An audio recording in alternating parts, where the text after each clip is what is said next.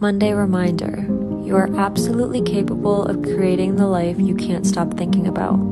Stop living in your head, stop doubting yourself.